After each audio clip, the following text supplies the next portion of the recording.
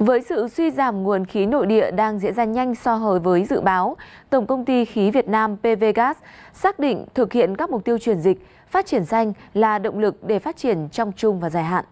Trong số đó, PVGas xác định phát triển khí tự nhiên hóa lỏng LNG là sản phẩm nền tảng, hòa chung với định hướng của thế giới, đón đầu xu thế dịch chuyển năng lượng. Tổ chức vận hành kho cảng LNG Thị Vải, hệ thống kho cảng LNG đầu tiên của Việt Nam, là một áp lực thường trực mà Tổng công ty khí Việt Nam PVGas đang đảm nhiệm, đảm bảo tối ưu hóa toàn bộ chuỗi tiếp nhận, tồn chứa và vận hành cấp khí cho khách hàng trên nguyên tắc phối hợp bài bản, thường xuyên cập nhật và chủ động cải tiến để cao công tác an toàn và tạo hiệu quả thực tiễn.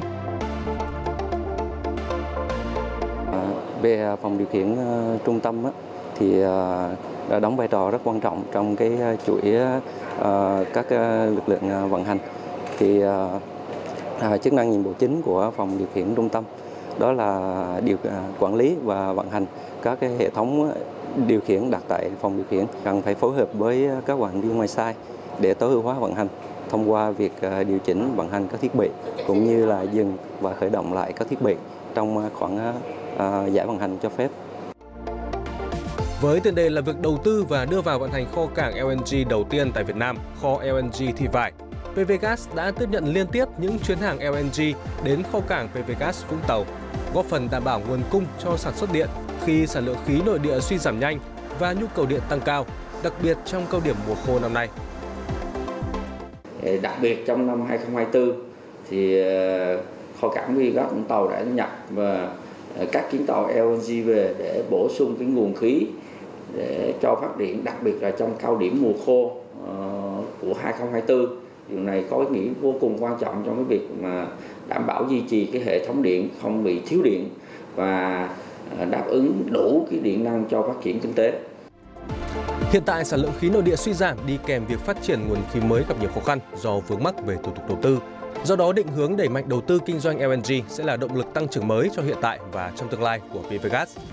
Bên cạnh đó, PVGas cũng bắt đầu triển khai nghiên cứu các phương hướng khả thi trong việc sản xuất và phối trộn các sản phẩm khí không phát thải như hydro xanh, ammonia xanh để sử dụng thử nghiệm trên hệ thống hạ tầng hiện hữu của PVGas và Petro Việt Nam.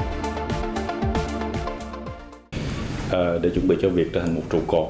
ờ, của tập đoàn dầu khí và định hướng trở thành tập đoàn công nghiệp năng lượng của Việt Nam uh, thì PVGas đã chuẩn bị cho mình những cái bước ừ, phát triển thứ nhất đó là tích cực đầu tư vào hạ tầng công nghiệp LNG à, một trong những cái sản phẩm mà ít phát thải à, để à, hướng tới công nghiệp xanh hóa thứ hai là BVS cũng đang nghiên cứu triển khai sản xuất đầu tư các dự án liên quan tới hydro xanh và ammonia xanh cùng với đấy thì sẽ nỗ lực hiện thực hóa và hướng tới mục tiêu giảm phát thải ròng về không theo định hướng của Thủ tướng Chính phủ tại COP26. Trong kế hoạch phát triển, PVGas hướng tới phát triển hạ tầng LNG với tổng công suất 15 triệu tấn một năm, gồm mở rộng kho cảng Thị Vải, xây mới kho cảng Sơn Mỹ và đầu tư thêm hai kho cảng trung tâm để đáp ứng nhu cầu theo quy hoạch điện 8. Đặc biệt vừa qua, PVGas đã vận chuyển thành công chuyến LNG đầu tiên từ Nam ra Bắc bằng đường sắt, đánh dấu mảnh ghép hoàn thiện của chuỗi cung ứng năng lượng khí PVGas được vận chuyển không chỉ bằng đường ống, đường bộ, đường thủy mà còn kết hợp cả đường sắt. Với cột mốc này, PVGas đã hoàn chỉnh và khép kín chuỗi giá trị năng lượng khí gồm các sản phẩm khí đa dạng, các phương án vận chuyển khí linh hoạt. Từ đó hướng tới phát triển năng lượng xanh, góp phần hiện thực hóa cam kết của Thủ tướng Chính phủ tại COP26.